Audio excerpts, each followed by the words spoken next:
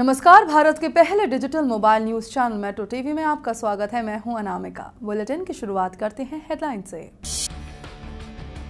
नरेंद्र मोदी के मंत्री गिरिराज सिंह का विवादास्पद बयान। कहा, हिंदू जैसा हिजड़ा कोई कौम नहीं, पहले भी अपने बयानों से रहे हैं विवाद में। आज़म ने बुलंदशहर गैंग रेप में साजिश वाले बयान पर लिया यू टर्न कहा, आरोपियों को इस्लामिक सजा हो। पहले बताया था विपक्षियों की राजनीतिक साजिश। दो हफ़्ते तक संसद नहीं आ पाएँगे आप सांसद भगवंत मान। लोकसभा अध्यक्ष ने जाँच कमेटी को दिया और दो हफ़्ते का वक्त। वीडियो के ज़रिए संसद के गोपनीय सुरक्षा का किया था खुलासा। दिल्ली के रोहिणी कोर्ट में वकीलों ने पुलिस वालों को दौड़ा दौड़ा कर पीटा। वकीलों ने किया हड़ताल। आम लोगों के लिए बंद किया गया कोर्ट। और रियो जाएँगे भारतीय पहलवान Narsingh Yadav. United World Wrestling ने दी मंजूरी। नाडा से डोपिंग प्रकरण से नरसिंह को किया था बरी भारतीय पहलवान नरसिंह यादव के लिए खुशखबरी है। यूनाइटेड वर्ल्ड रेसलिंग ने उनके नाम को मंजूरी दे दी है। इस बात की जानकारी भारतीय कुश्ती संघ के अध्यक्ष ब्रिजभूषण सिंह ने दी है। उन्होंने बताया कि वर्ल्ड रेसलिंग संघ ने नरसिंह यादव के नाम को मंजूरी दे दी है।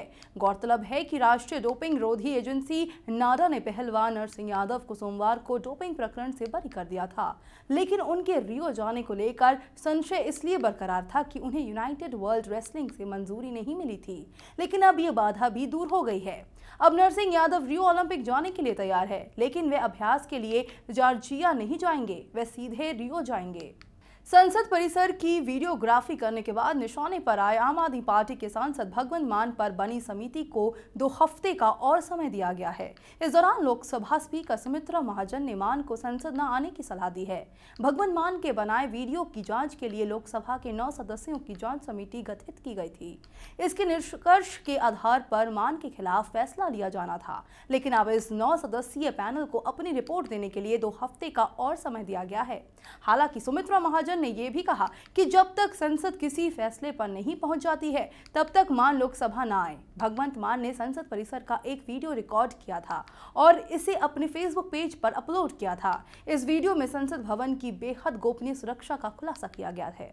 बीजेपी नेता और नरेंद्र मोदी सरकार के केंद्रीय राज्य मंत्री गिरिराज सिंह एक बार फिर विवादों में घिरते नज़र आ रहे हैं। मंगलवार को कोबरा पोस्ट डॉट कॉम ने एक वीडियो शेयर किया, जिसमें गिरिराज सिंह कहते नज़र आ रहे हैं कि हिंदू जैसा हिजड़ा तो कोई कौम ही नहीं है। वीडियो में गिरिराज कहते नज़र आ रहे हैं, हिंदू होता तो पाकिस्तान जिंदाबाद का नारा लगाता, पटना में एक एक ढेला मारकर मार देते। कुछ लड़के हैं जिनके पास सेंटिमेंट है, अभी कुछ लोग जीवित है जिनके पास सेंटिमेंट है। देश में केवल 20 प्रतिशत लोग हैं जिनके पास सेंटिमेंट है।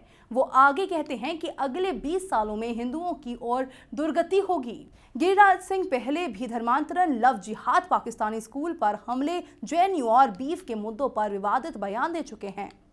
बुलंदशहर गैंग रेप को समाजवादी पार्टी के खिलाफ साजिश बताने वाले नेता आज़म खान अब अपने ही बयान से पलट गए हैं। आज़म ने कहा कि उन्हें नहीं मालूम कि उनके किस बयान से पीड़ित परिवार को दुख हुआ, लेकिन वो चाहते हैं कि इस मामले में आरोपियों को इस्लामिक सजा हो।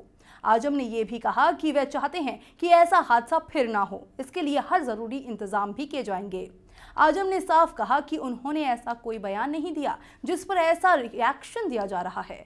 आज़म ने कहा कि बुलंदशहर में जो हुआ है, उसकी जितनी निंदा की जाए कम है। लेकिन ये बात सच है कि एक ही समय में एक ही तरह के कई अपराध हो रहे हैं। आज़म ने कहा कि उन्होंने राजनीतिक साजिश शब्द का इस्तेमाल नहीं किया था। रोहिणी कोर्ट में पुलिस और वकीलों के बीच आपस में लड़ाई हो गई। वकीलों ने पुलिस कर्मियों को दौड़ाकर पीटा है। इसके अलावा वकीलों ने इसी मामले पर हड़ताल शुरू कर दिया है। आम लोगों का प्रवेश बंद कर दिया गया है। दरअसल, एक वकील सुबह अपने परिवार के साथ अदालत पहुँचा था। वह लॉकअप की तरफ़ से प्रवेश करने लगा। इस बात का कमांडो ने ऐतराज किया और उसे धक्का दे दिया। इसके बाद वकील की कमांडो से हाथापाई हो गई। बाद में सभी वकीलों ने कमांडो को पीटा। वहीं वकील मौके पर दिख रहे पुलिस वालों से भी हाथापाई करते दिख रहे हैं। बताया जा रहा है कि एसीपी के साथ भी बदसलूकी हुई है। राज्यसभा में बुधवार को यूपी की बदतर होती जा रही कानून व्यवस्था को लेकर हंगामा हुआ। कार्रवाई के दौरान उत्तर प्रदेश में हो रहे गैंगरेप का मामला भी उठा।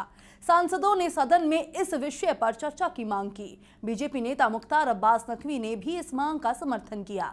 नकवी ने कहा कि महिलाओं के खिलाफ हो रहे अपराधों पर राजनीति नहीं की जानी चाहिए। नकवी बोले कि अगर सदन चाहता है तो इस मुद्दे पर बहस हो तो हम इसके लिए तैयार हैं। वही बीएसपी सुप्रीमो मायावती ने यूपी में बढ़ते क्राइम ग्राफ को लेकर केंद्र सरकार को घेरा। माया ने कहा कि हाल ही में हुए उत्तर प्रदेश में महिलाओं के खिलाफ अपराधों को के लेकर केंद्र सरकार ने चुप्पी क्यों साधी हुई है?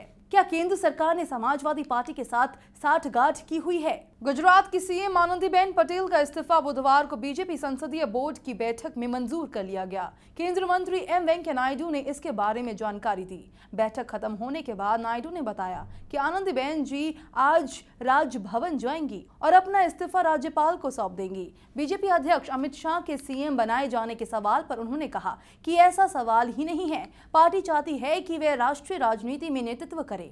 नए सीएम के सवाल पर उन्होंने कहा कि नितिन गडकरी और सरोज पांड्या को पर्यवेक्षक नियुक्त किया गया है। वे दोनों गुजरात जाएँगे और विधायकों के साथ बैठक करेंगे। उसके बाद ही नए सीएम के नाम पर फैसला होगा। गौरतलब है कि आनंदीबेन ने अपनी उम्र का हवाला देते हुए फेसबुक पर इस्तीफे की घोषणा की थी। पीएम मोदी और बीजेपी अध्यक्ष अमित शाह का गढ़ माने जाने वाले गुजरात में अब पार्टी अपनी पकड़ खोती जा रही है। राष्ट्रीय स्वयंसेवक संघ और बीजेपी के सर्वे में ये खुलासा हुआ है कि अगर इस वक्त गुजरात में चुनाव हुए तो पार्टी को विधानसभा की एक सौ बयासी में से 60 से पैंसठ सीटों के साथ ही संतुष्ट होना पड़ेगा। आरएसएस और बीजेपी ने राज्य में दलित आंदोलन के बाद ये सर्वेक्षण करवाया। सर्वे के लिए संघ प्रचारकों ने लोगों से फीडबैक लिया। सर्वे में ये भी सामने आया है कि ऊना की घटना के बाद दलितों ने बीजेपी से दूरी बना ली है। पाटीदार आरक्षण और दलित आंदोलन की वजह से पार्टी की छवि को इतना नुकसान पहुँचा है कि 2017 के चुनावों में बीजेपी का 18 सीटों पर भारी अंतर से चुनाव हारना तय है। हालाँकि आरएसएस ने ऐसे किसी भी सर्वे की बात से इनकार किया है और कहा है कि बीजेपी खुद ऐसे सर्वे करवा सकती है। राजस्थान हाईकोर्ट द्वारा बॉलीवुड एक्टर सलमान खान को उन्नीस सौ अठानवे में जोधपुर में चिंकारा के शिकार संबंधी दो मामलों में बरी करने के फैसले को प्रदेश सरकार सुप्रीम कोर्ट में चुनौती देगी। राजस्थान के संसदीय कार्य एवं विधि मंत्री राजेंद्र राठौर ने मुख्यमंत्री की अध्यक्षता में हुई मंत्रिमंडल की बैठक के बाद संवाददाताओं से बातचीत के दौरान एक सवाल के जवाब में कहा कि सरकार सलमान खान के मामले में गुण अवगुण पर अवलोकन कर रही है। सरकार ने न्यायालय के फैसले को चुनौती देने का मन बना लिया है। गौरतलब है कि राजस्थान हाईकोर्ट ने 25 जुलाई को दिए गए फैसले में भवाद और मथानिया में चिंकारा के शिकार संबंधी दो मामलों में सजा के खिलाफ सलमान की याचिका को स्वीकार कर उन्हें दोनों मामलों में बरी कर दिया था। कोंकण में भारी बारिश की वजह से आई बाढ़ के चलते रायगढ़ ज़िले में मुंबई गोवा हाईवे पर एक पुल टूट गया। इस हादसे में कुछ गाड़ियाँ बहने की वजह से 22 लोगों के बह जाने का अंदेशा है। पुल टूटने के बाद एनडीआरएफ राहत और बचाव के काम में जुटा है। एनडीआरएफ की प्राथमिकता फंसे हुए लोगों को सुरक्षित निकालने की है।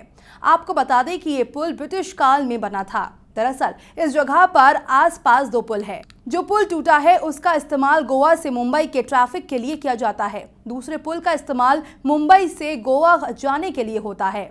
हादसे के बारे में सीएम देवेंद्र फडणवीस को जानकारी दे दी गई थी, जिसके बाद से ही सीएम पूरे हालात पर नज़र बनाए हुए हैं। हाईवे पर पुल बहने के बाद एनडीआरएफ राहत और बचाव के काम में जुटा है। खबरों के सफ़र में फ़िलहाल इतना ही। देश दुनिया की पल पल की खबरों के लिए बने रहिए मेट्रो टीवी के साथ। नमस्कार। えっ?